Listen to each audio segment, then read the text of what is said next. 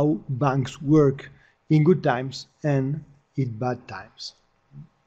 So one thing is clear, regulation has changed. We have come to a more strict regulation with higher capital requirements, with uh, liquidity requirements, with a leverage ratio and so on and so forth.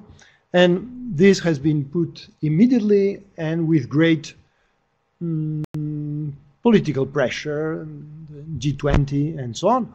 The question is, is this regulation the right regulation? So that's one of the key motivation for our for our work. Okay, let me see if I know how to go down to the next page. La flecha de abajo. Desapareció. Mm. Okay, sorry. Okay. So, uh, different chapters to cover different issues. The okay. The first thing is, of course, can we build a theoretical framework to think about uh, uh, systemic crisis?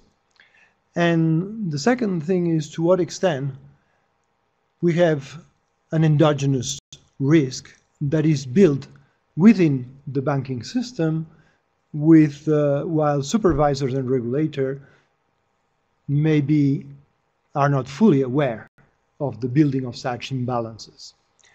The third issue we wanted to cover is of course contagion and the fragility of the whole banking system. Then the real cost of financial crisis, the measure of systemic risk, systemic risk and microprudential regulation, systemic risk and macroprudential regulation, monetary policy and systemic risk, and we finish with a chapter on the new challenges for regulatory policy. And so I will try to cover some of these issues in uh, this one hour and 20 minutes, if I'm correct.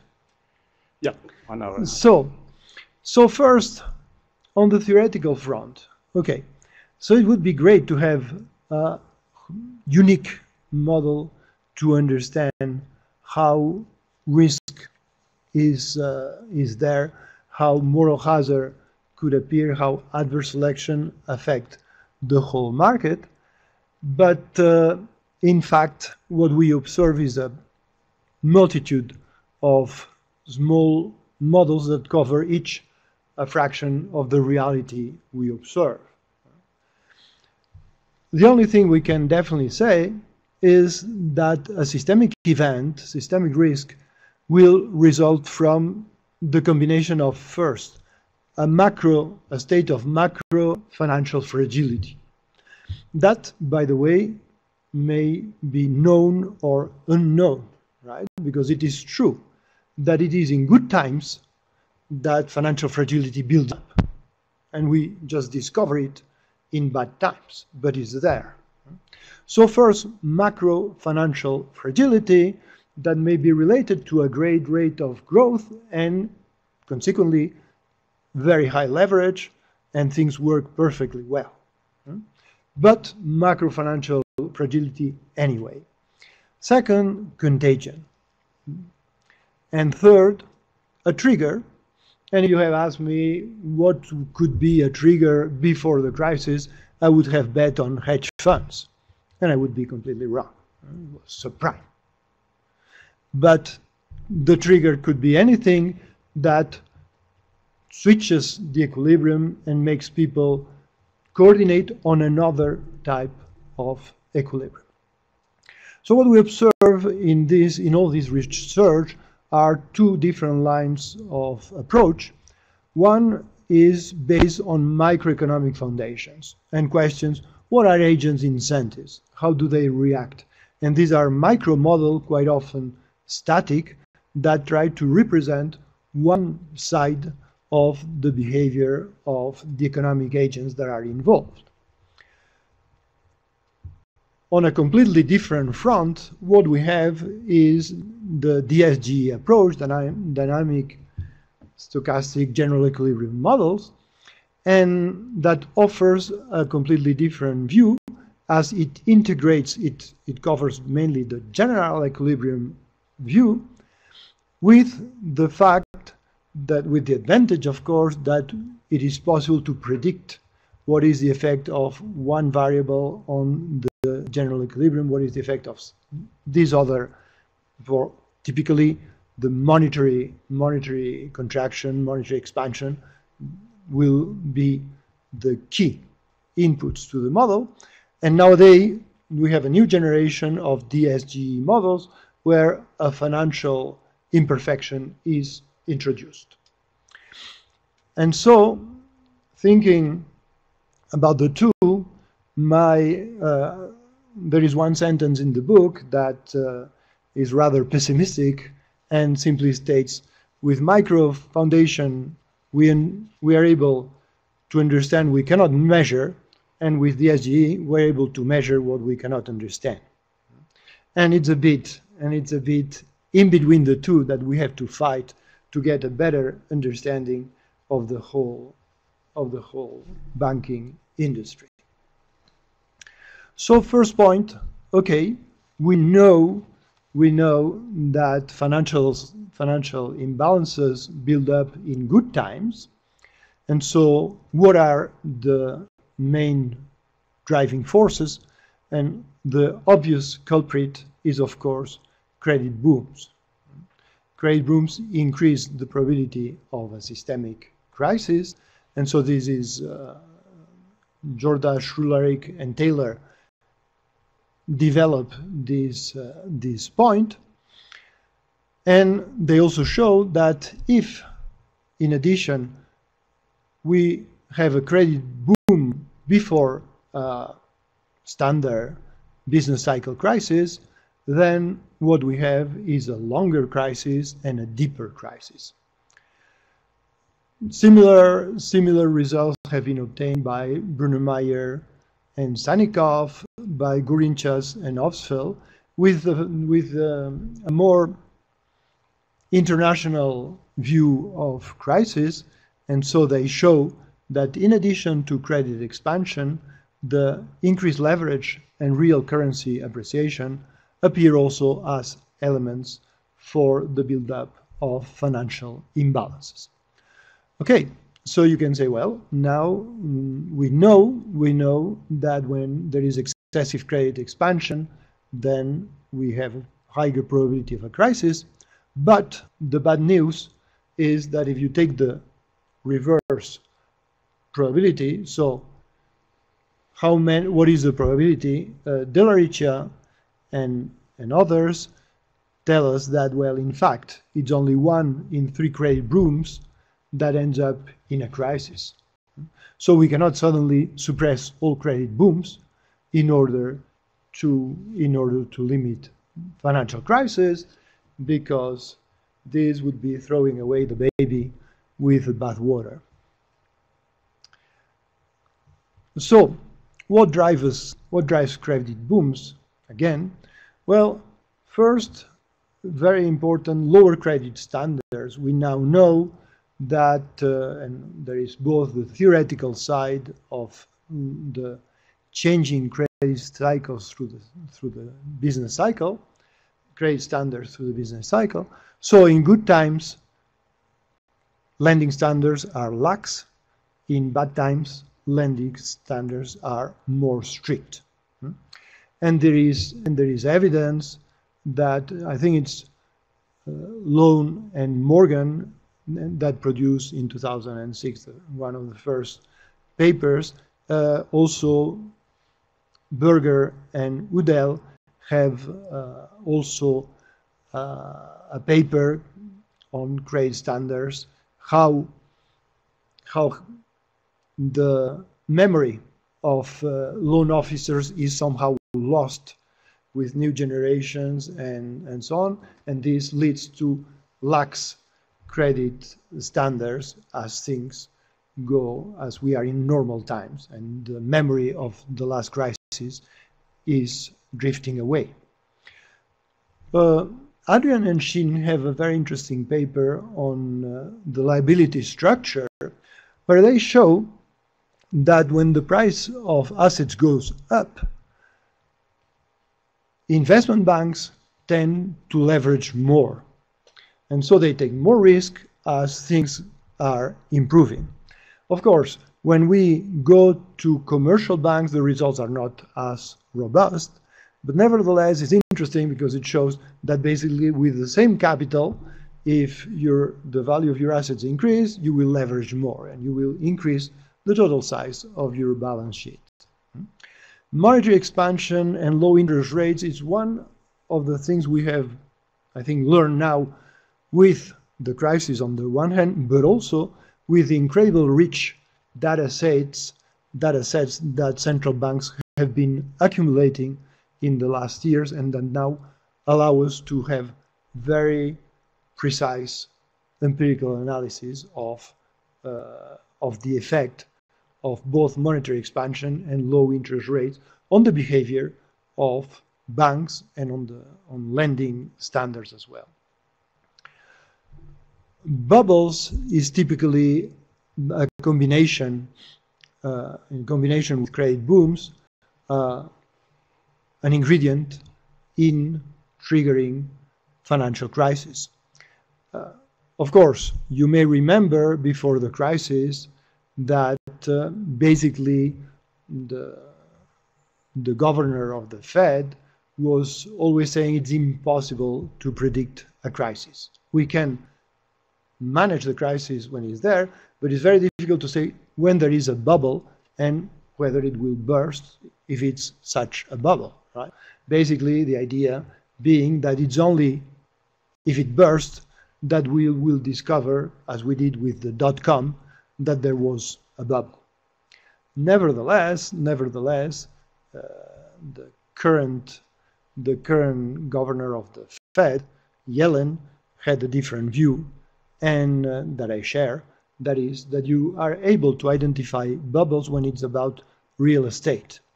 It's impossible to identify them when it's stock market, but when it's about real estate, then indeed it's possible to identify that there is a credit, uh, sorry, a bubble on the basis of the return on investment, on the basis of the rate of growth, and on the basis of the, the price of a house in relation to the, to the income of the buyer. Right? Capital inflows have been also an element that is quite related to liquidity and to the monetary expansion to some extent the both capital inflows as well as the sudden stop that sometimes uh, is the the equivalent of the bursting of a bubble is this sudden stop that is quite important particularly for emerging countries. So these are also key points in driving credit booms because it means that it is possible for the for the US monetary base to expand because there is an inflow from China that accumulates and creates the saving glut that uh, the expression forged by Ben Bernanke. Corporate governance, interestingly, we have learned something, and I will develop this point later. With the crisis, we have indeed learned something on corporate governance and how corporate governance led to risk taking in banks. Competition may as well be a driving force in credit booms, related quite often to herding. Right? And so uh, the, the, experience of uh, Spain is quite clear in that the credit boom led to the expansion of the Spanish cajas, these saving banks, and this expansion was with very low uh, lending standards, and this, of course, created the all the problems with the with the Spanish banking industry.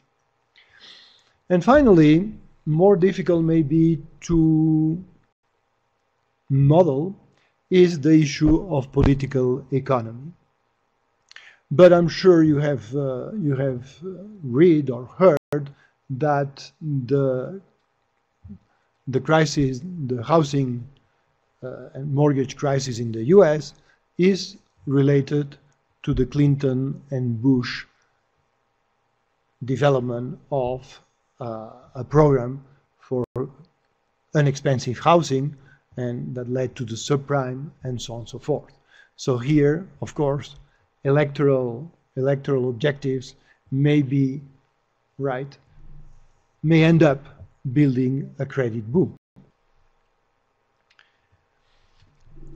So the other the other dimension that is important is contagion.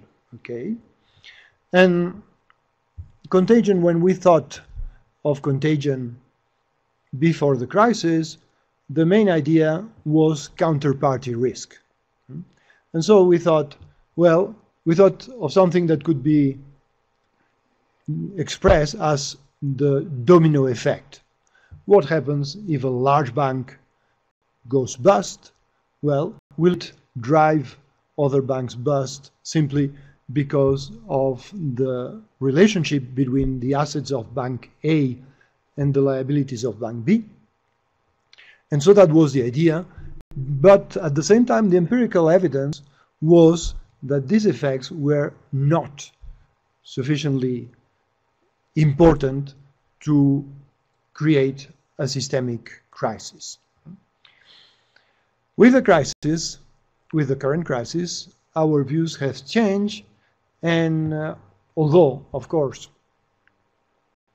although of course there is this uh, OTC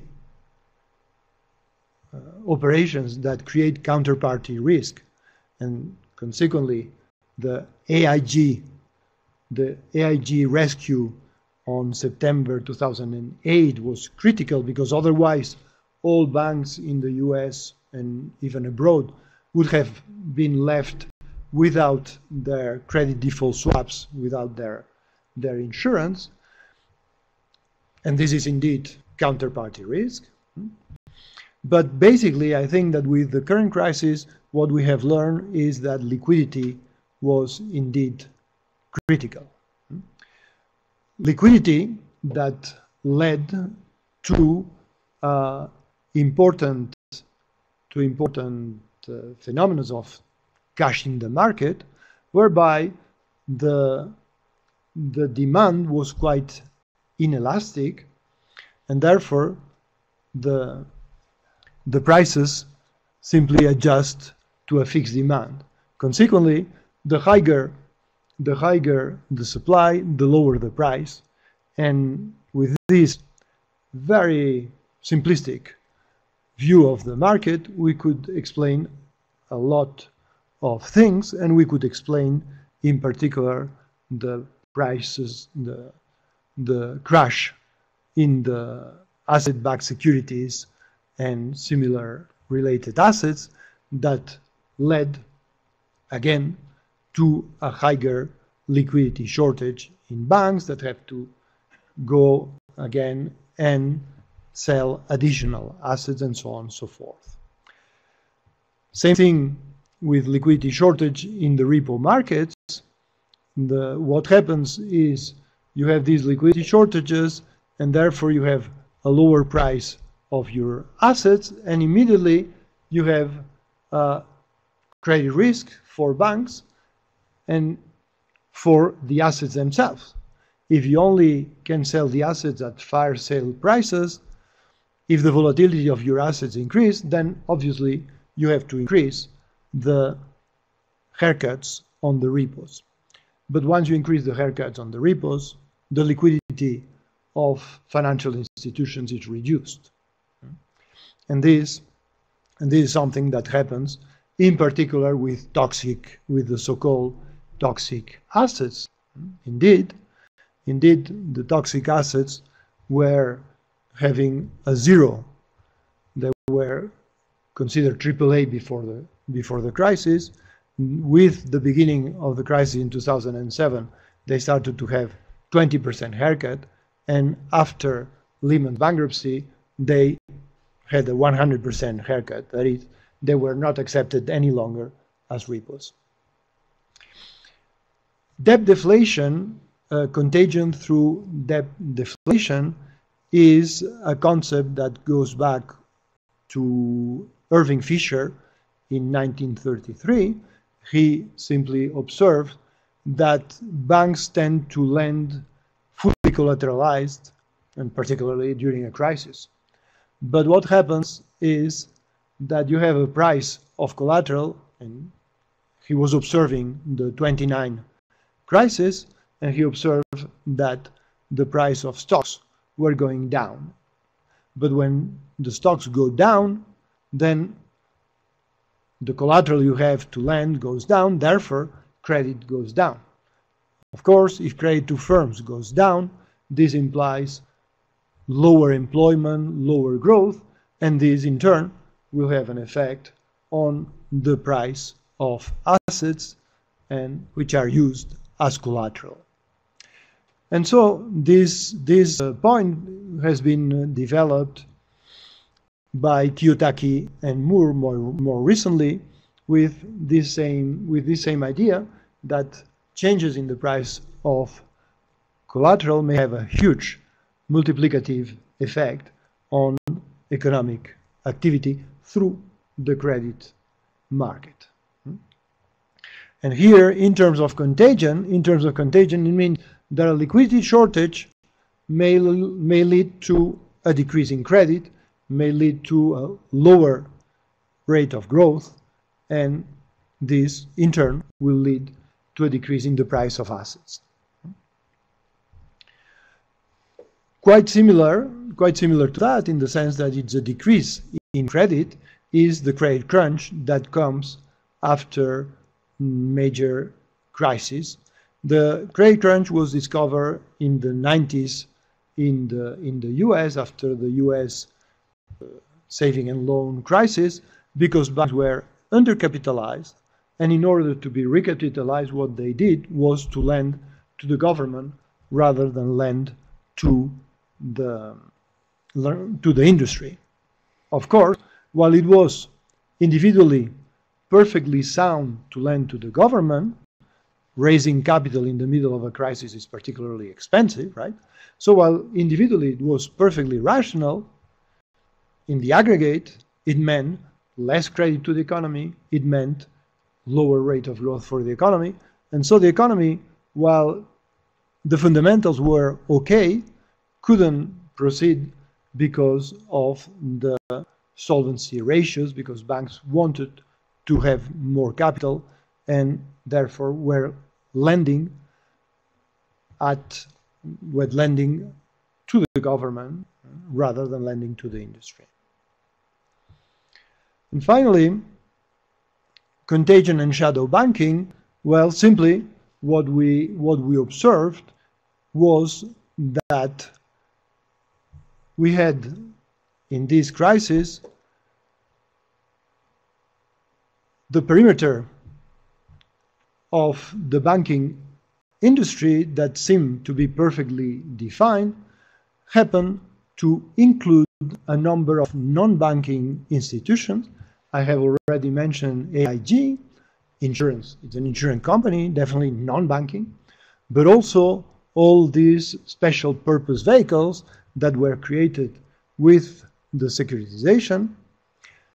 When it came to the crisis, it turned out that in some countries like the US and the UK, banks have extended credit lines to these vehicles and therefore they had to repatriate they had to repatriate their, these vehicles at the worst possible time. So this is a messy diagram that I love because contagion is messy and so it shows how uh, somehow the different ingredients interrelate. And basically what we are saying is that you have an impact of banks losses on macro fragility. You have an impact on bank losses on asset prices, and you have an impact of bank losses, therefore, on liquidity. So that this interrelates every both counterparty risk, liquidity risk, and finally, you even have an impact of these bank losses on the macroeconomic uh, fundamentals, as you may have the exchange rate that changes, you may have excess lending, asset prices changes, and so on. And so, while in the previous slide I tried to, to give you uh, one by one line of uh, contagion, here is rather the other view I would like to emphasize, the fact that liquidity and counterparty are definitely related and that they are both related to the price of assets. Okay, and so uh, Luc Laeven, our co-author uh, at uh, IMF, had uh, a number of papers on the cost of financial crisis. And of course, here we only have the most uh, spectacular ones. But uh, of course, I remember the tequila crisis of, in Mexico, and it had a huge, indeed, a huge cost. And, uh, and what you see is because you have a fiscal cost, an increase in debt effect, and an output cost. And so when you look at the output cost, this means compared to trend, how much have we lost? So you have you have a country that is uh, that is growing at 10%, and then suddenly and then suddenly it grows at negative rates, and so you can see that uh, a number of countries have a cumulative output loss that goes above 100 percent, right? So something like a loss of 25% during four years, something like that. Quite spectacular. So indeed, indeed, a good motivation for macroprudential regulation and for a monitoring of systemic risk. Okay, and this, these costs may be already reflecting that you have credit crunch, hmm, and I mentioned credit crunch in the in the U.S. in the 90s, but in with the Asiatic with the Southeast crisis of 97, we also observe a credit crunch, and with the with the current crisis, we also observe a credit crunch both in the U.S. and for a longer period of time in Europe. So this, of course, reduces the rate of growth in the economy. Evergreening has also a cost, and we uh, this term, evergreening, refers to a possible behavior of banks. When a bank is close to bankruptcy, it may tend to hide its losses. And so while it would be efficient to terminate a loss, to terminate a loan, the bank will roll it over so, the, at, so as not to have the losses in its balance sheet. And so evergreening means that you continue financing a bad project while it should be terminating. And this has a cost, again, in terms of growth, because you are financing something with a negative net present value. Zombie banks will be those that engage in evergreening, the expression zombie banks, referring to a bank with negative, with negative equity, but nevertheless with sufficient access to the liquidity markets to continue oper operating. Gambling for resurrection, well, uh, in normal times, in normal times, banks lend to positive net present value projects. But when they are confronted with their, all, with their own insolvency, it means that they have an option that if they take high risk, they may still continue in the game, while if they don't take any risk, they will definitely go bankrupt. And so the incentives are there, are there to gamble for resurrection. And also, also on the cost of uh, on the cost of financial crisis, these negative externalities that every bank failure creates, and that implies that implies that the relationship between a bank and its client is disrupted. And so all the information the bank has accumulated on a particular client which is related to the idea of relationship banking all this which constitute an asset is suddenly lost hmm? and we have empirical evidence on uh, on the, the on the bankruptcy of Continental Illinois, for instance, that shows how the how the bankruptcy of a bank affects the stock price of its clients. Okay, with all this, Rancière and co-authors show that countries that had a crisis grow faster in the aftermath, but still the cost of the crisis is there indeed. Okay. To Let me remind everybody, uh, we have a microphone here at the room for those of you who can intervene here at CEMLA, and uh, also for uh, for the people, the remote participant, which we had a record right now, too many people. So you can submit your question by the chat, and I submit, I will submit to Professor. Thank you. So, okay, so to cope with to cope with this systemic risk, with the building up of financial imbalances, we, we have to resort to micro and macro prudential regulation. And here, of course, the innovation is the macro prudential side. And these have difference in objectives, differences in focuses, in focus, and difference in the distortions they are trying to correct. They target different distortions. So, very different in view, and but maybe, as you all know, this is basically a lesson of the of the current crisis. Indeed, that micro prudential was not enough. And so, while microprudential is considered partial equilibrium as, as such, the macroprudential will consider general equilibrium. The risk in macro microprudential was the risk of an individual financial institution. And so the idea was that you could measure the value at risk.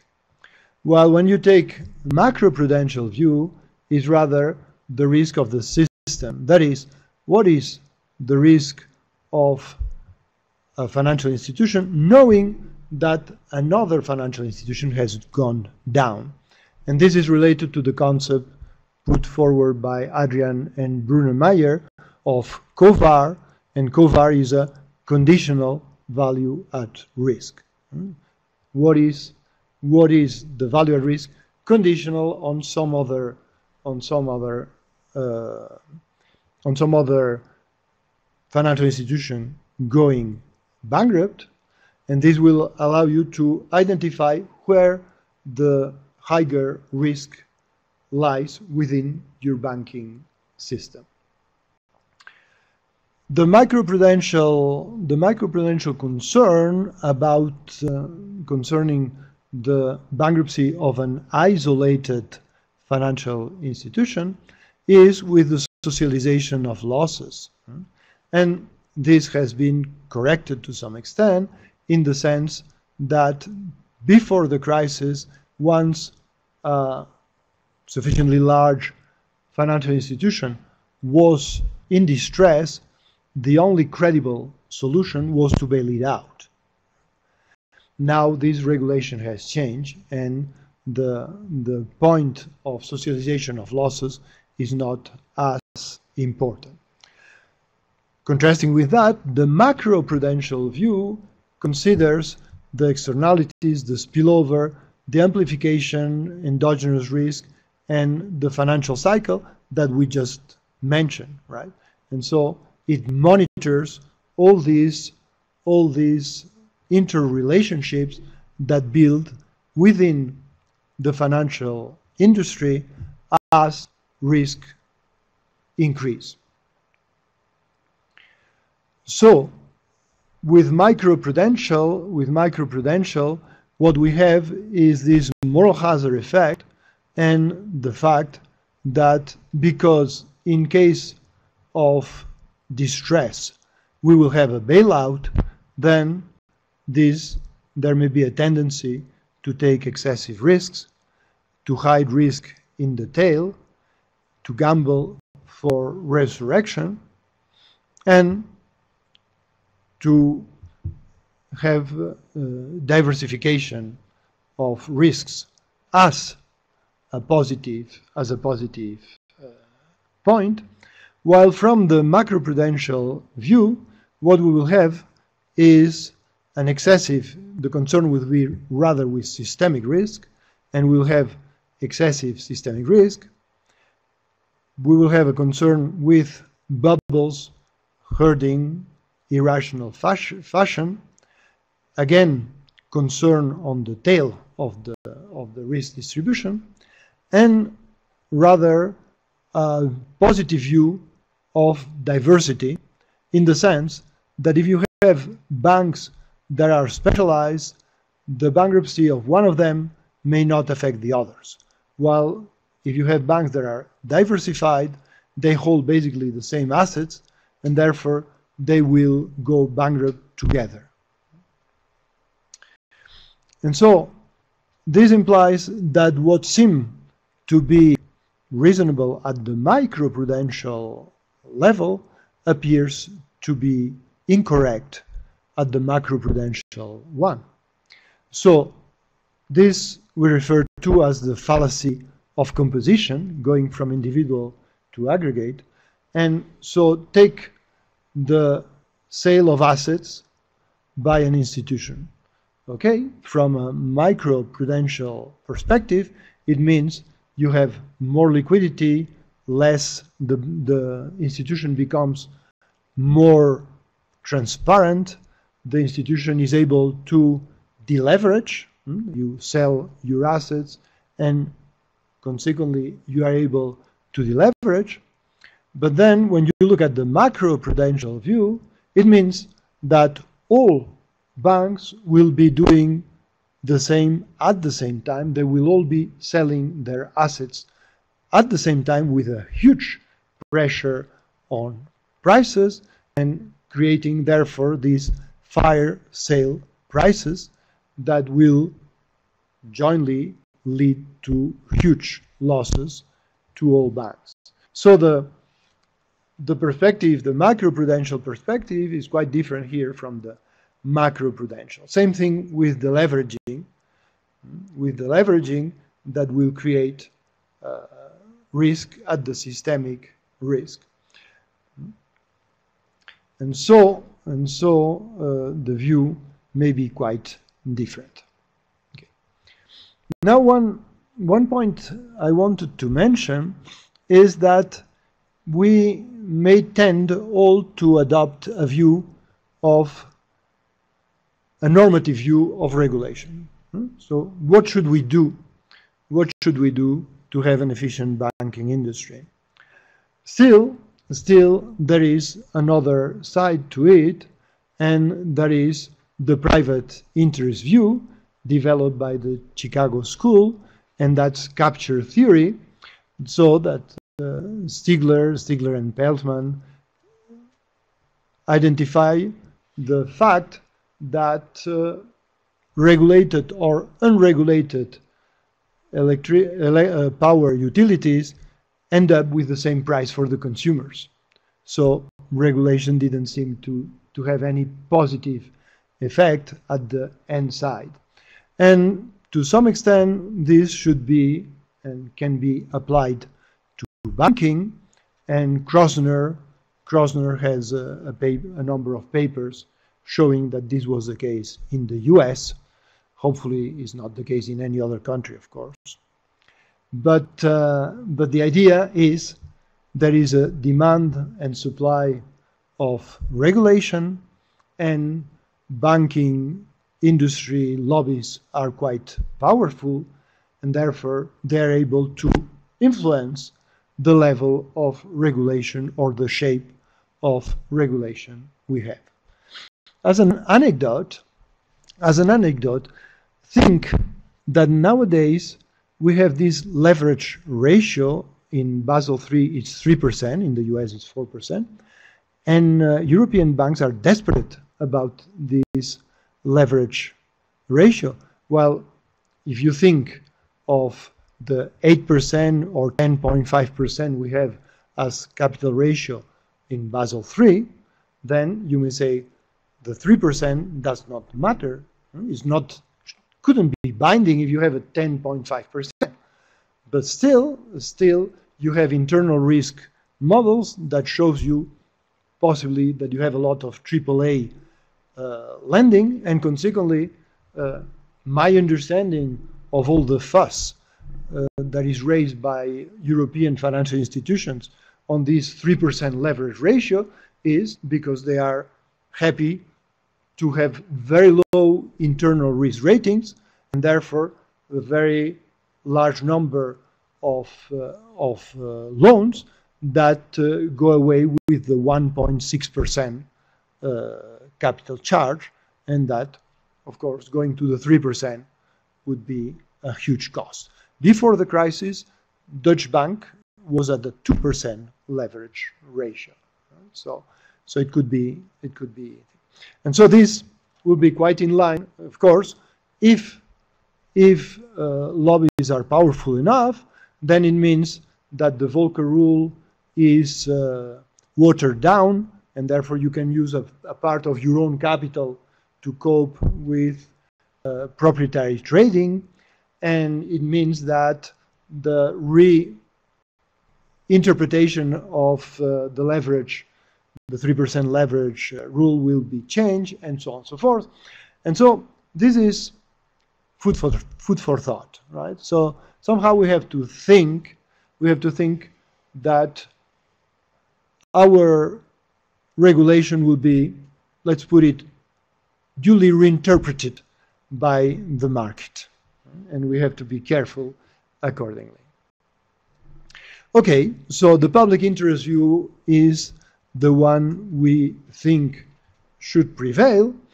And although possibly with, with this caveat that we should consider not the regulatory measure, measures as they are considered, but rather the equilibrium that will result out of these regulatory measures.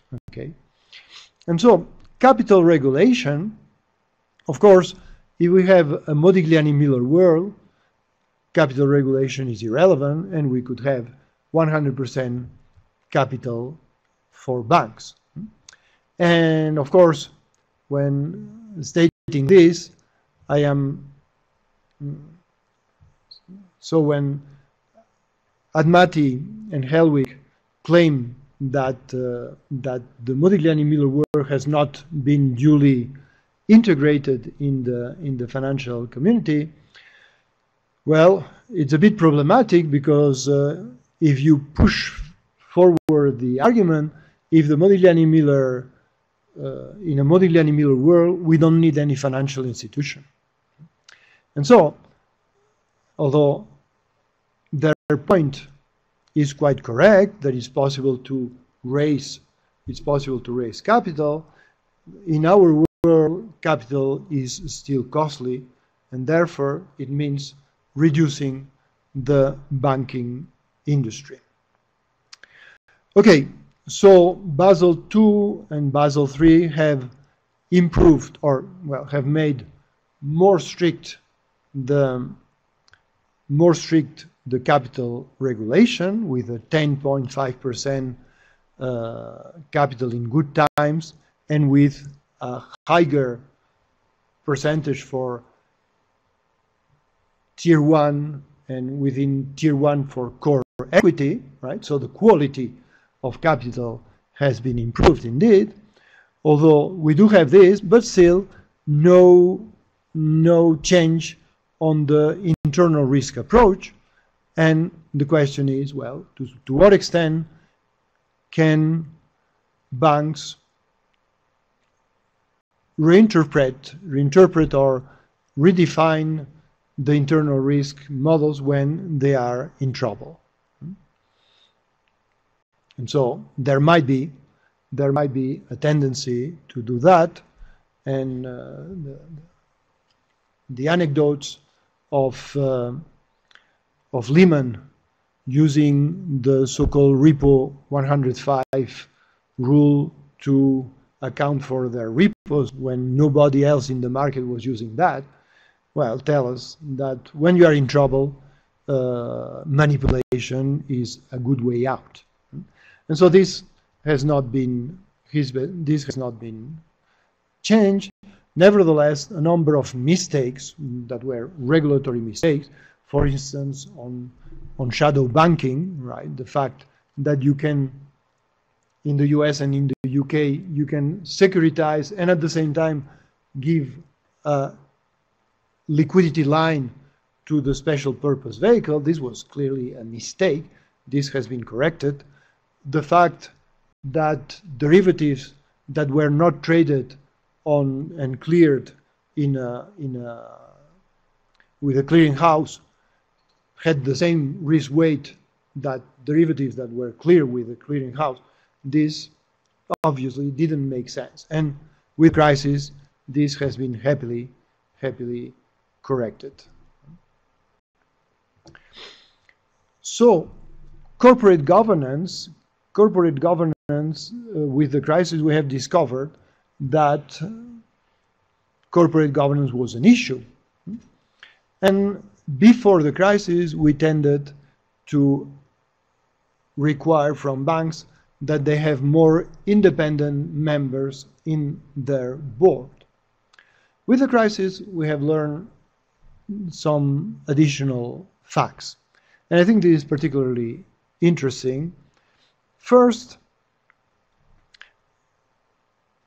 okay, with the crisis, the first reaction was to say, well, there is a problem with executive compensation.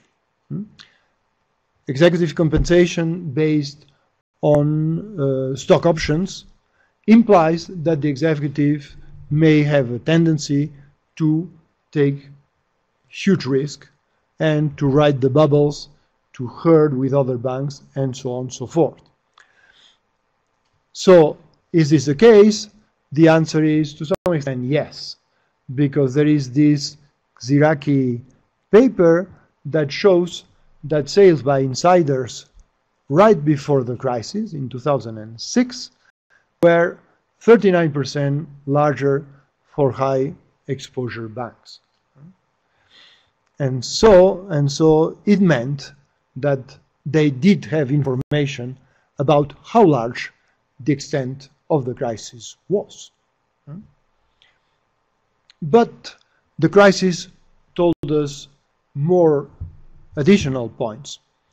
Because if the first reaction we had was, well, these executive compensation plans with stock options, by the way, quite often related to the fact of avoiding paying more taxes, but that's another thing.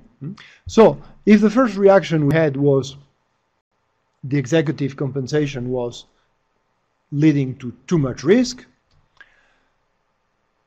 then additional papers show that in fact shareholders were very happy with this high risk the banking institutions were taking. And if you think of it, you may think, well, a shareholder is someone that has a very well diversified portfolio, right? So the banking industry could be 2% of the portfolio, 3%, why not? And if so, you want the a good return and you don't care about about the downturn and the bankruptcy and the effects of bankruptcy. So Fahlenbrach and Stulz show consider different banks with different levels of shareholder activism. Hmm? How how shareholders were pressuring the banks, and this you can consider by the structure by the structure of shareholding. And so they show that precisely banks where shareholders have more power on the decisions, shareholders were, have, were more powerful within the board of directors, were those banks that had higher losses. So that beyond too risky executive compensation, there was simply the fact that the shareholders themselves defined these packages so that the executives took risk and so that they have a higher return. Okay, so that's one, one interesting paper. Another, quite related to corporate governance, that uh, another paper I like, I like a lot, is by Ellul and Yerramilli, and they consider how well treated is the chief risk officer in a bank. Okay, that's easy to do. Banks report the report the salaries of their chief executive and of their chief risk executive. As simple as that. They take the ratio. They take the ratio of what the chief risk officer makes to what the chief executive officer makes, and they use that to explain the losses in the crisis. So, this means that it is the whole banking, the board of directors that says, well, we don't want, we are not that interested in measuring risk, in monitoring risk. We are interested in marketing, in development, in expansion. And of course, this again shows that is not only about executive compensation packages. It's rather that it's interesting for bank shareholders to take risk and say, well, we, we want to put our resources rather in expansion, in the expansion, in growing, rather than in monitoring risk.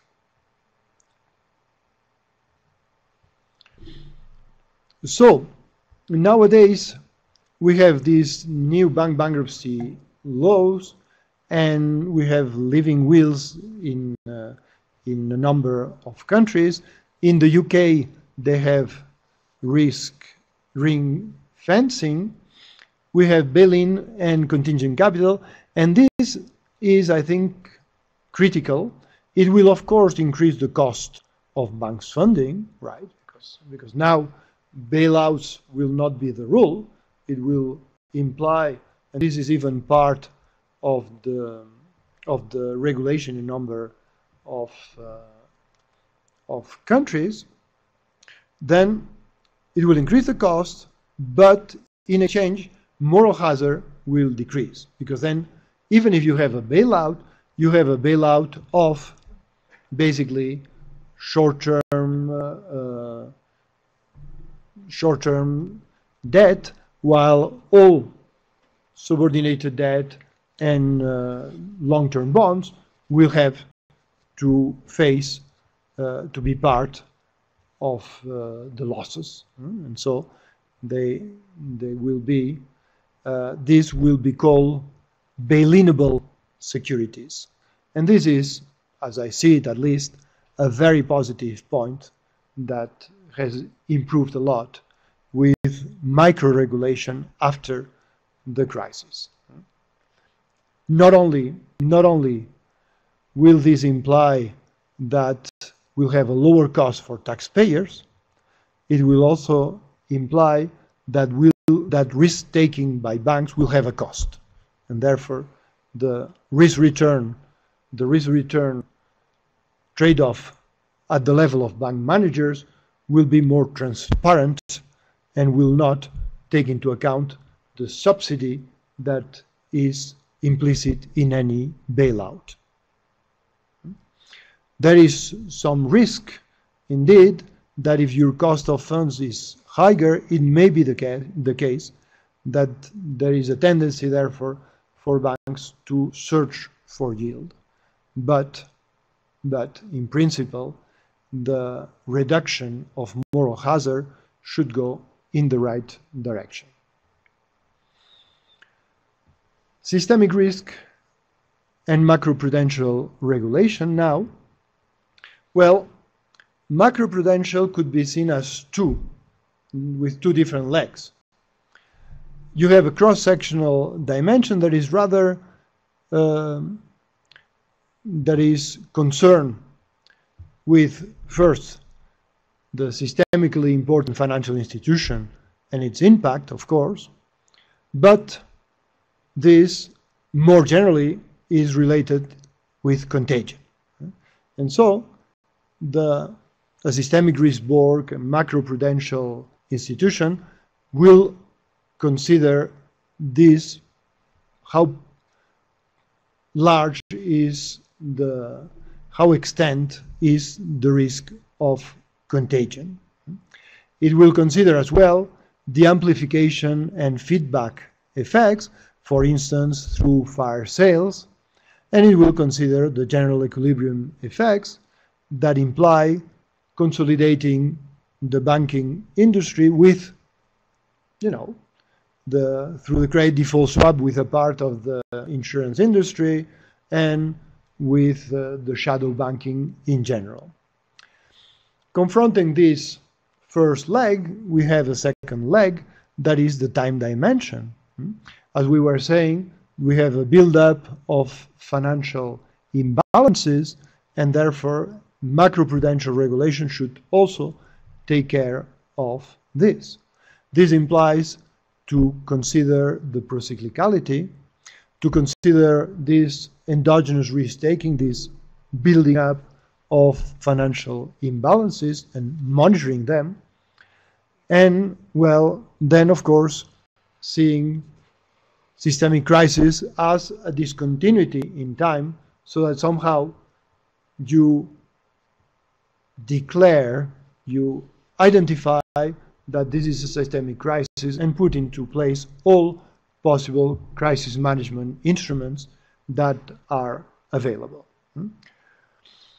There is some relationship between the two, the two sides, the cross section and the time dimension, because, because when you have weak fundamentals, that is, in uh, when you when the imbalances are building up, contagion is higher, as shown by in a paper by Iyer and Peydró.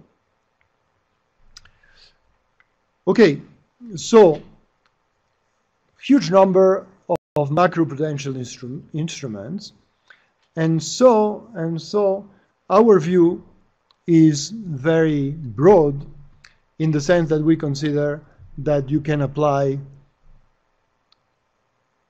a number of instruments that affect directly the balance sheet of the banks.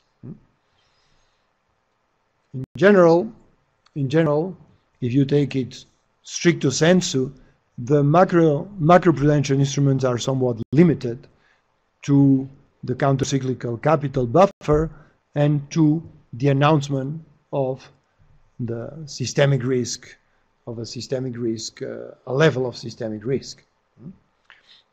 But here we take a broader view and the, the number uh, of macroprudential instruments is uh, important. So let me be quite brief on this, stating that there are a large number of instruments that can be used both in a counter-cyclical way and in a cross-sectional way. Some are well, are well established, and so, for instance, the systemic liquidity surcharges are well defined, and so uh, the way to identify systemically important financial institutions is quite quite clear. We have we have a number of dimensions of how large it is, how global it is, and so on and so forth. And with this number of dimensions, we have a level of risk that implies a level of capital surchar surcharges from 0 to 3%. Hmm? Okay, and so we have these macroprudential instruments indeed. But to what extent are these pure macroprudential? Well, we can, we can think about it.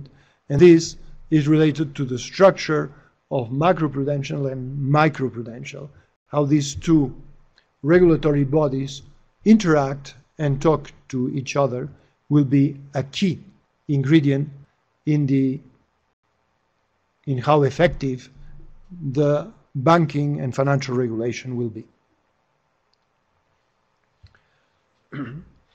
so when we talk about the effectiveness of macroprudential policies, well, we have first that according to Dell'Ariccia and others, macroprudential policies are better at reducing the crisis impact than at preventing it. So, and this may be this may be a lesson, for instance, in the U.S. This way of thinking outside the box was critical in solving the the mess the banking the banking industry was in in 2008, and the U.S. was quite quite fast in uh, implementing a number of liquidity facilities, open these liquidity facilities not only to bank to banks but also to end users. So the mutual funds have access to a specific facility, right? And so, so uh, while on the other hand, the Federal Reserve did nothing to to prevent the crisis. Okay. Now, now, nevertheless, with the new instruments to build capital and liquidity buffers, then happily the ex post cost of a financial crisis are reduced. It will be less costly because the bail-in mechanism and the fact that there is more capital should help, and the, the existence of liquidity should help to uh, to, to reduce this ex post cost of a financial crisis. Hmm?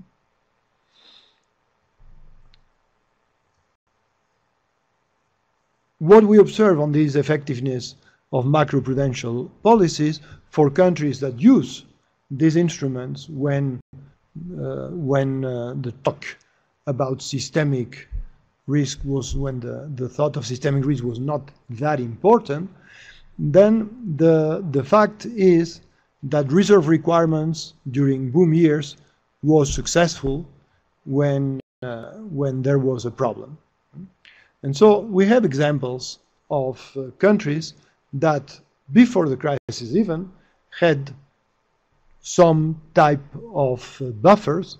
And so, for instance, we had the UK that use uh, a capital ratio that could be that could go from 8% to 10%. And when and so that in this way, in this way, a higher a higher capital ratio allow to reduce the riskiness of the UK financial industry. Problem, it benefited foreign banks. Hmm? But this, of course, means you have less risk for the UK banks and the mandate of the UK regulatory body, that was the FSA at that time, was the solvency of the UK banking system.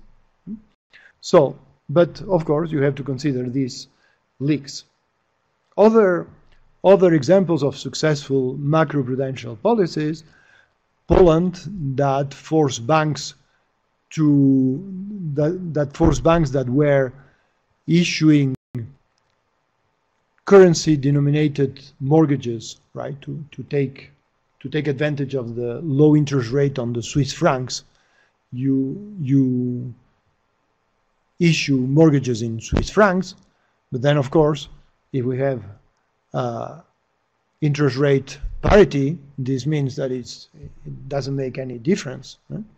But uh, it forced banks to have a higher capital ratio, and this reduced this, uh, this uh, tendency to take excessive risk.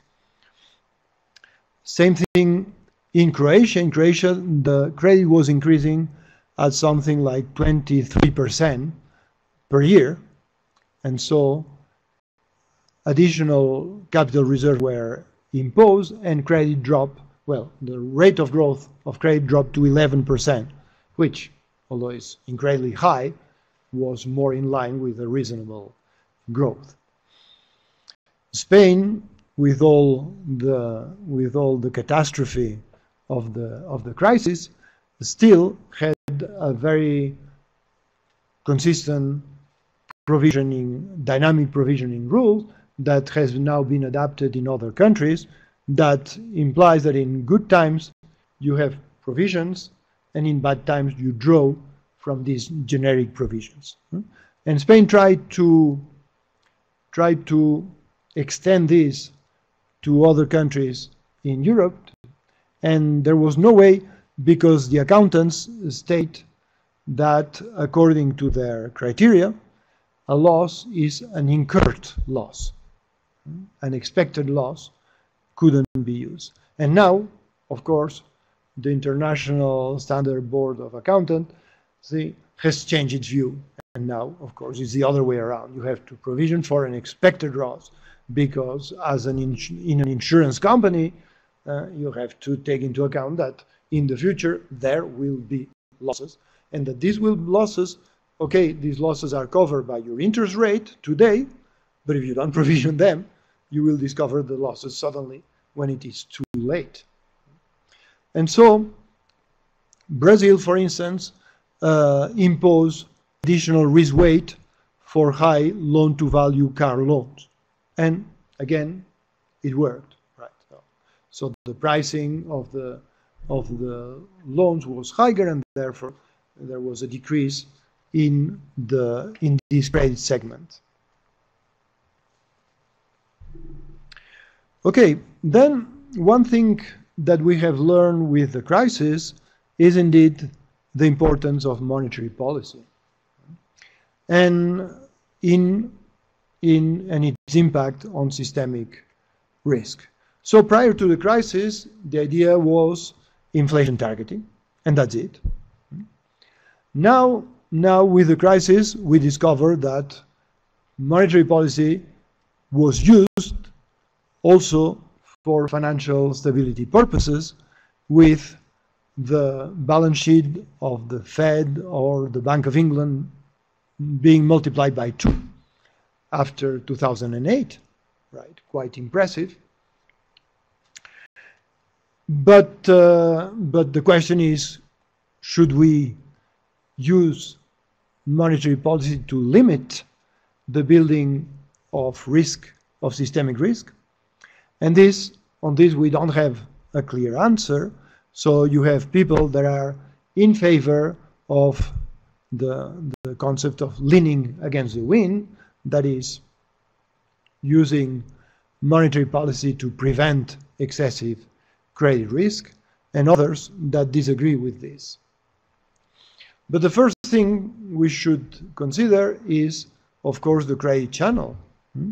We mentioned that financial imbalances were quite often related to excessive credit growth and to uh, bubbles. And the question is therefore, what is the link? Because if we think that monetary policy acts only through interest rate, and that is the monetary, the monetary policy transmission view, it's the money view, sorry, of the monetary policy transmission, then it's all about demand.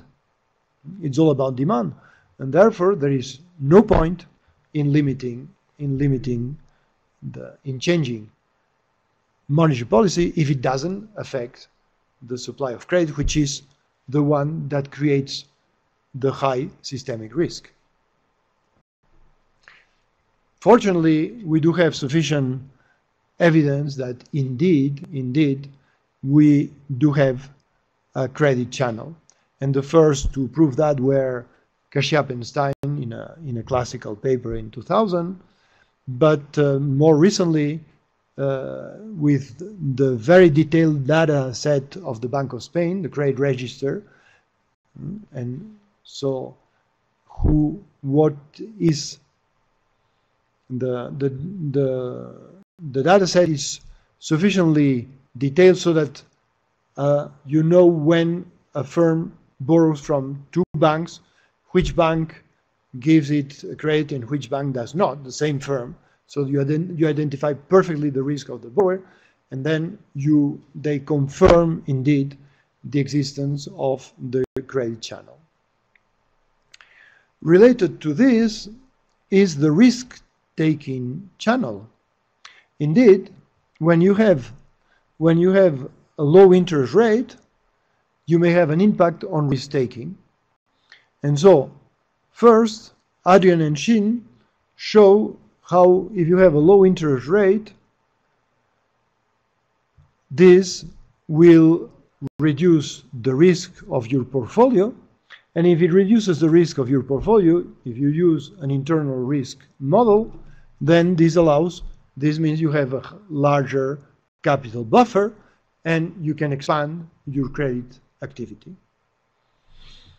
Hmm? And so, so low interest rate will reduce basically the risk in your portfolio of loans.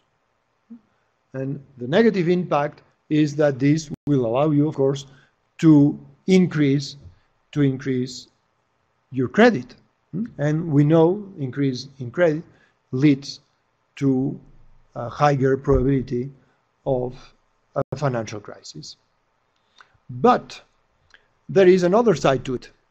So with very, with this uh, with this data set of the Bank of Spain, which is very detailed, uh, Jimenez and others show that lower interest rate induce lower capitalized bank to increase their risk.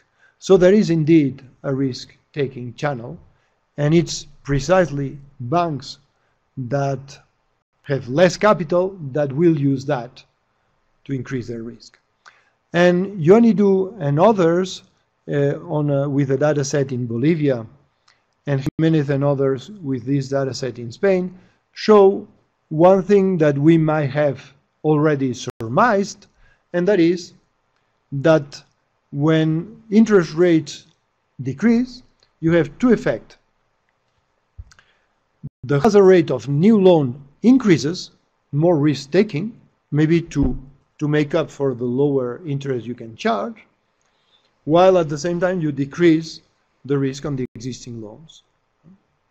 And so, and so uh, low interest rate may have a huge effect on the future, on future uh, credit uh, delinquencies, delinquencies.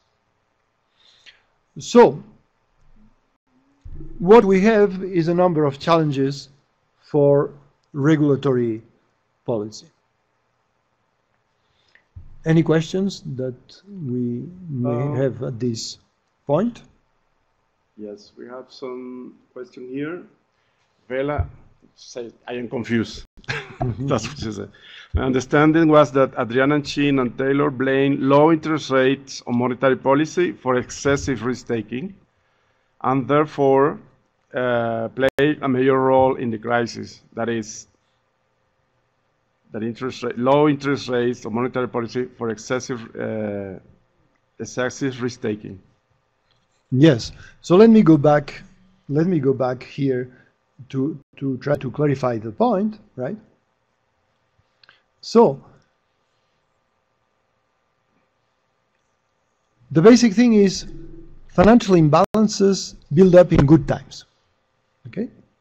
So we have low interest rates, no problem, mm, a lax monetary policy, and this implies that banks observe their portfolio, and in their portfolio of loans, these loans have reduced delinquencies because low interest rates are low, the interest rate charge may be low, may be low, and firms are repaying these loans.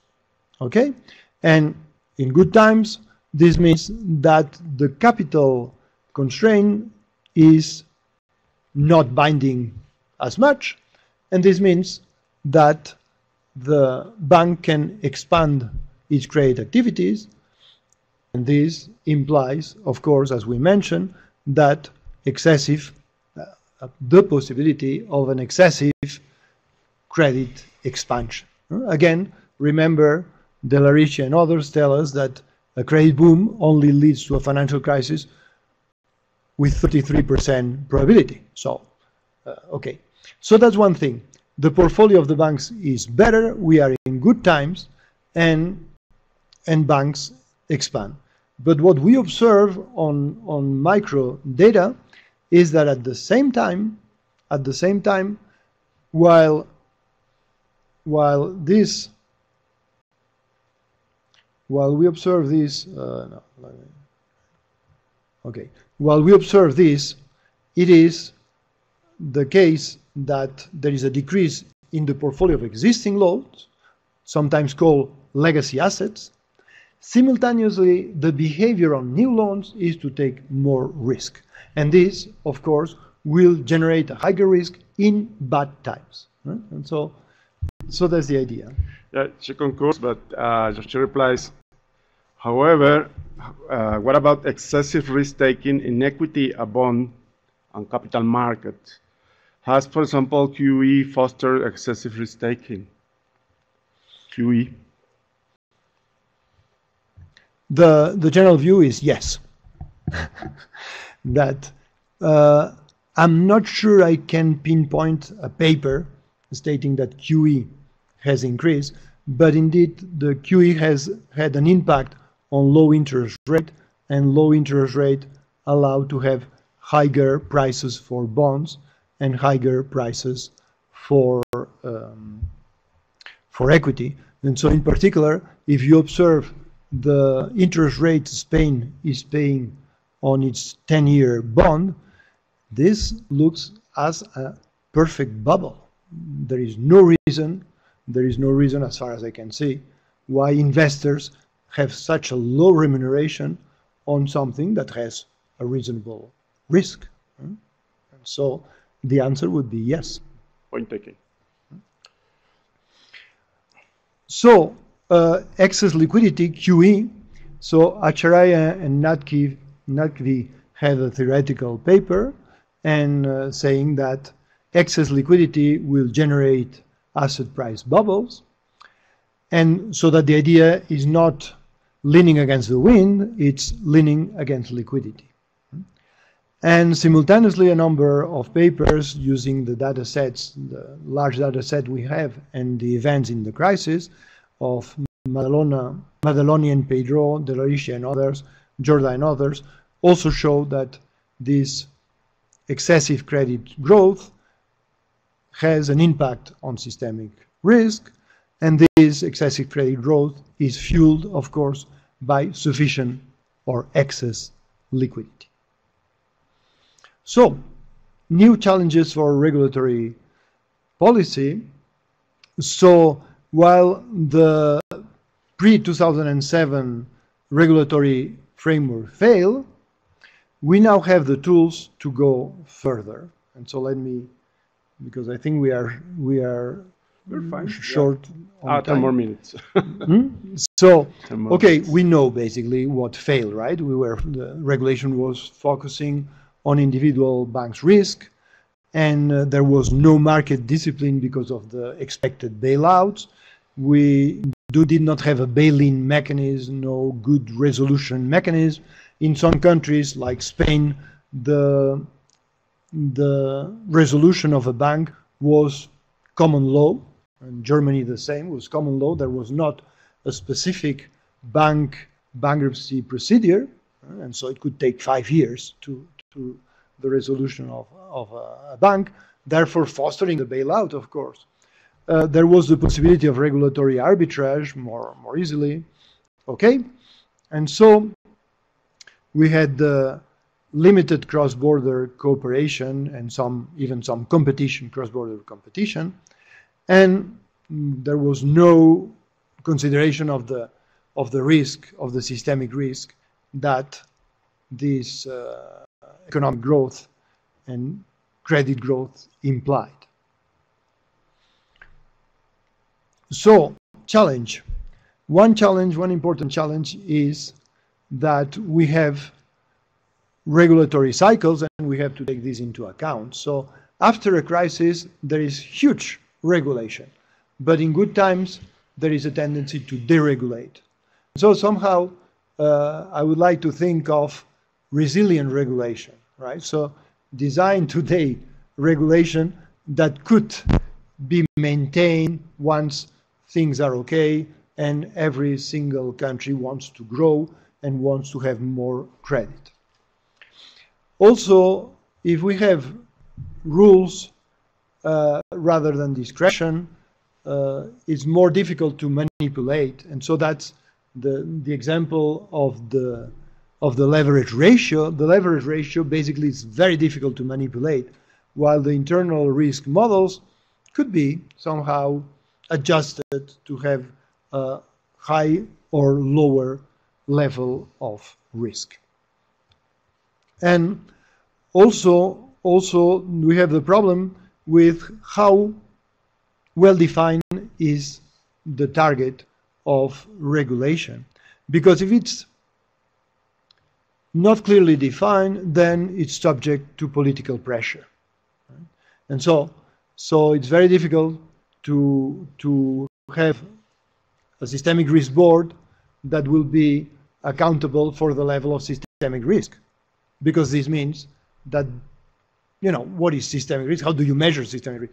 We have at least three measures of systemic risk, and the correlation is not perfect. So if you have such an institution, then the political pressure is much, much stronger. There is, uh, nevertheless, there is there are possibilities. So I remember uh, visiting Norway and, uh, and uh, supervising, monitoring how they proceed with monetary policy.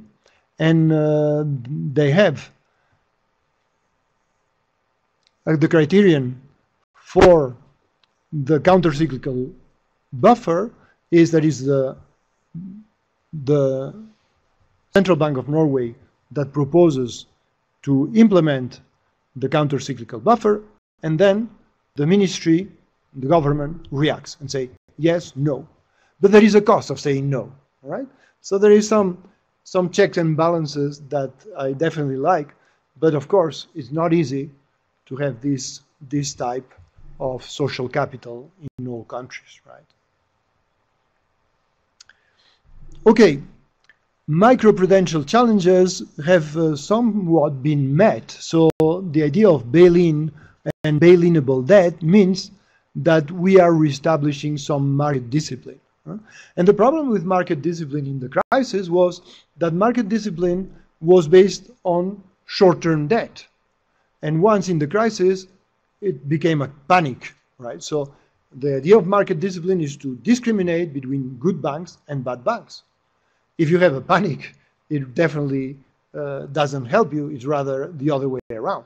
So market discipline should be rather on longer term than on short term uh, investors. So bail-in, banks restructuring and resolution procedures have been have been set, and now, as you know, uh, the regulation is not only bank is not only restricted to bank institutions in the legal sense, but to banks and non-banks if these non-banks are systemic and affect the, the banking industry. So that AIG nowadays is followed by the Fed, which was not the case, of course, before, before the crisis.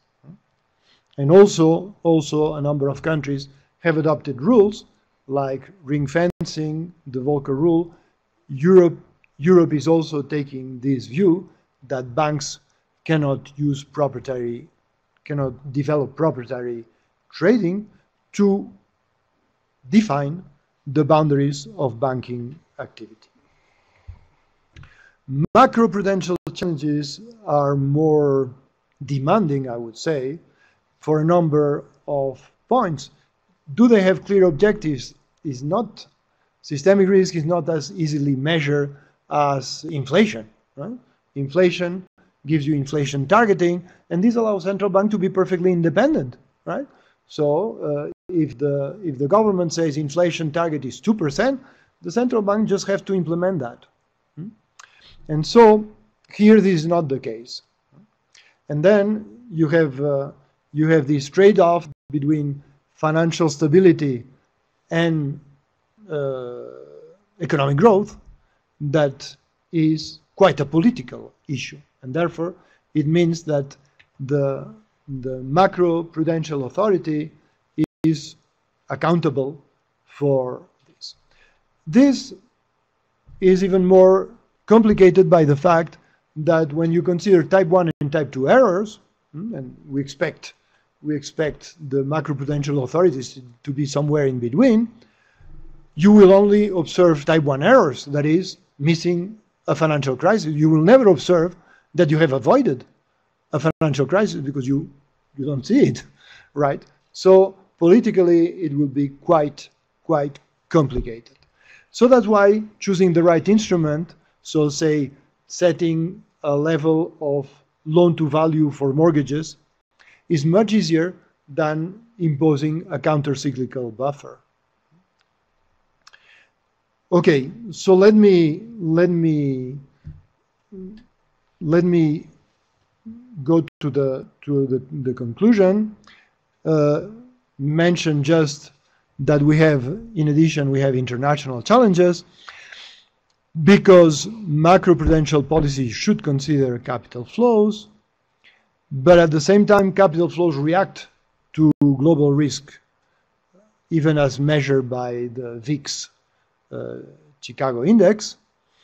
And consequently, and consequently, it means that suddenly these capital flows will be quite different with sudden stop for some countries and will create additional layers of systemic risk. So, to conclude, uh,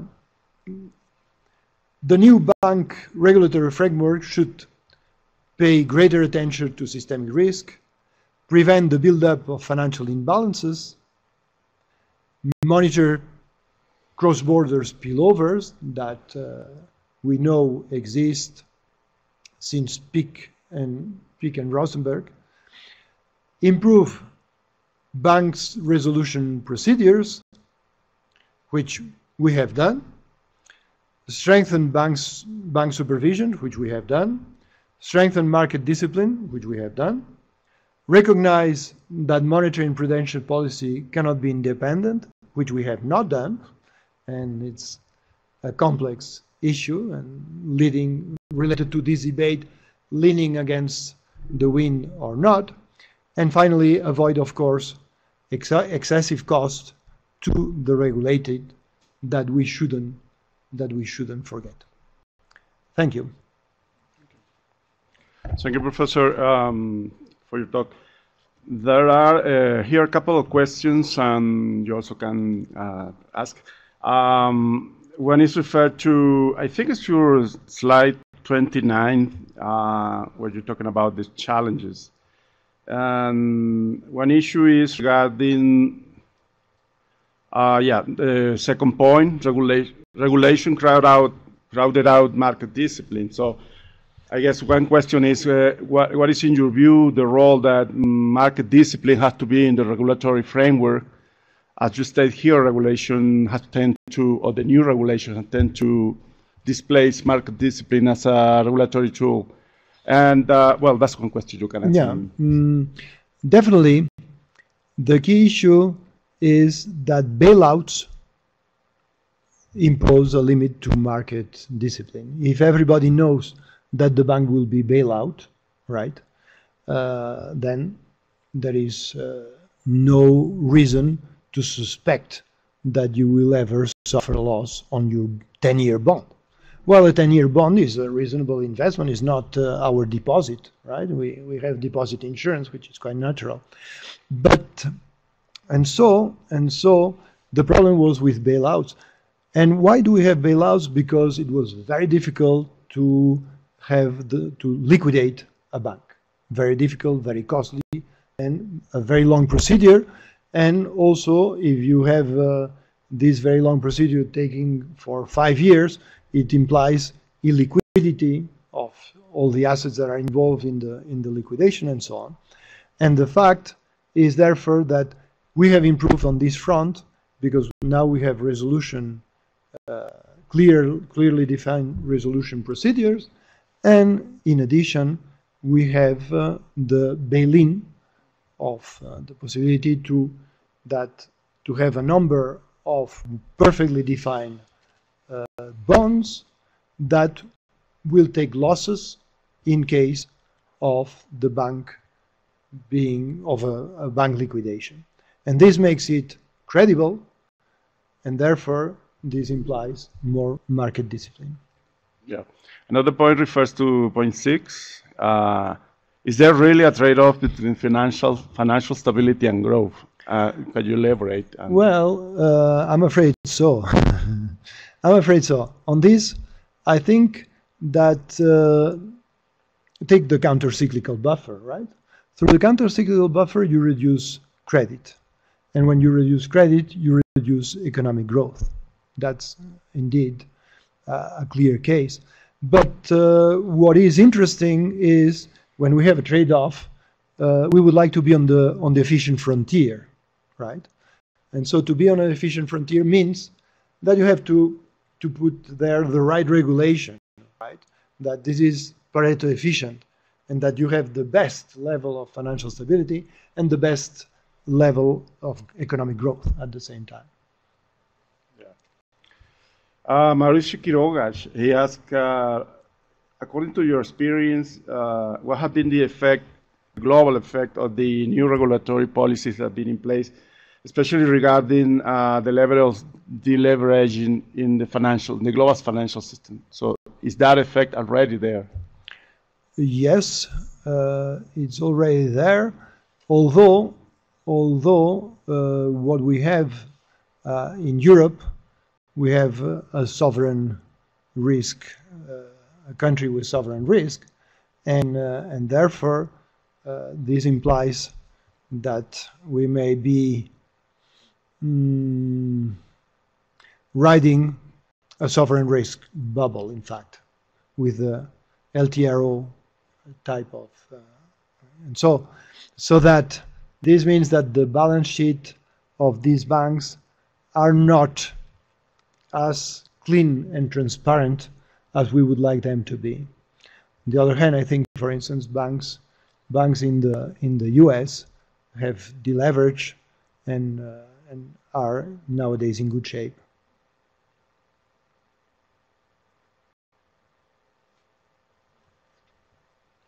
Another question?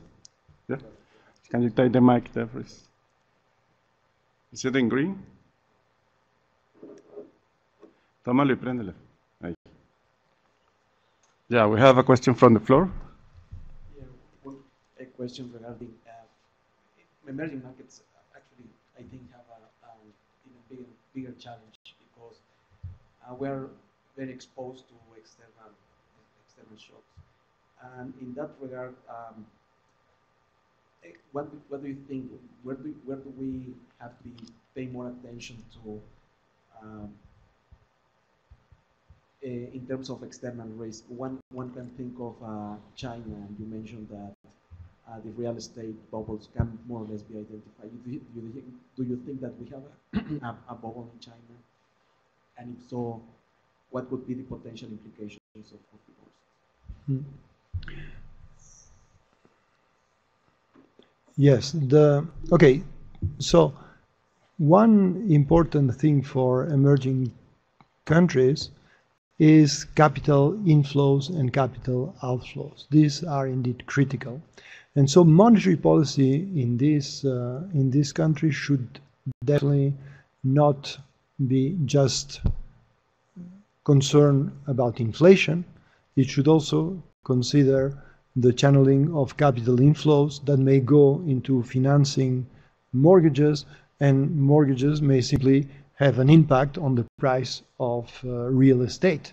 And so, so this is, I think, we have to be very cautious about this.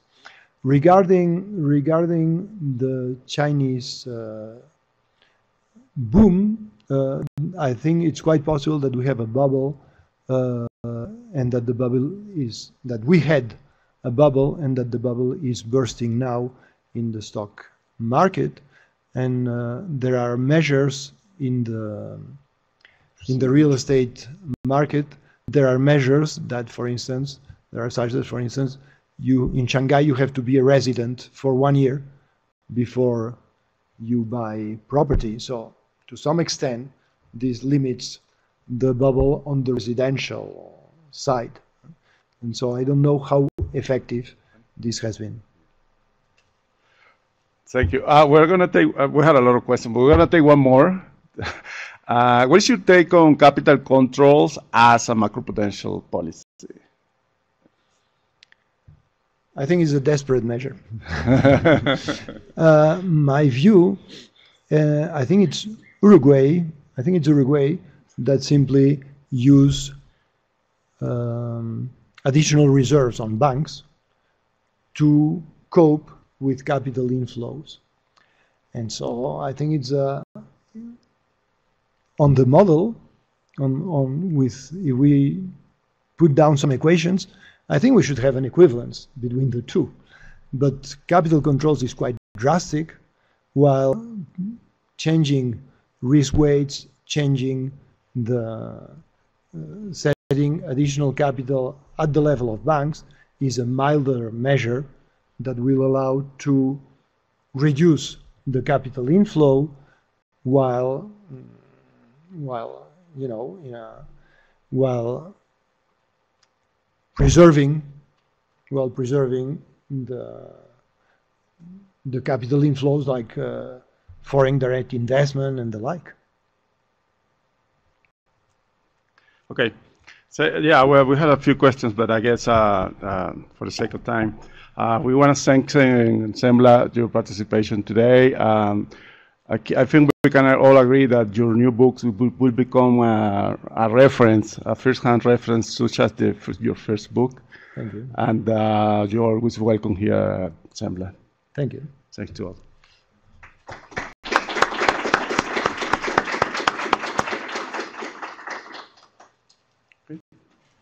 We can leave now?